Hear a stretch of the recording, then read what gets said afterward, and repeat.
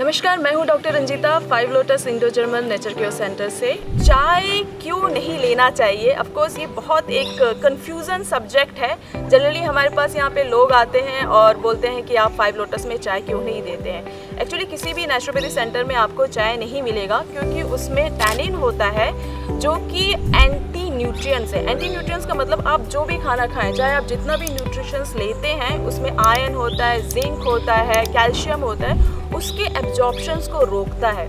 तो long term में ये आपके पेट में अल्सर कॉज कर सकता है गैस्ट्राइटिस कॉज कर सकता है इन्फ्लामेशन कॉज कर सकता है प्लस ये जो नर्वस स्टूमुलेंट है कॉर्टिसोल जो कि स्ट्रेस हार्मोन माना जाता है उसको भी बढ़ाता है जिसकी वजह से एंग्जाइटी होना स्ट्रेस होना नींद ना आना ये सारी चीज़ें भी होती हैं। सो so, अगर आप चाहते हैं कि आपको लॉन्ग टर्म आपको हेडेक ना रहे माइग्रेन ना रहे या एंग्जाइटी या स्लीप इशू ना हो रहे तो ऑफकोर्स मैं रिक्वेस्ट करूँगी आप चाय ना लें बाकी आप लोग की मर्ज़ी है। क्योंकि टी ऑफकोर्स उस टाइम के लिए आपको रिलीफ देता है आपको अच्छा लगेगा। इनफैक्ट आपका हेडेक भी चला जाएगा।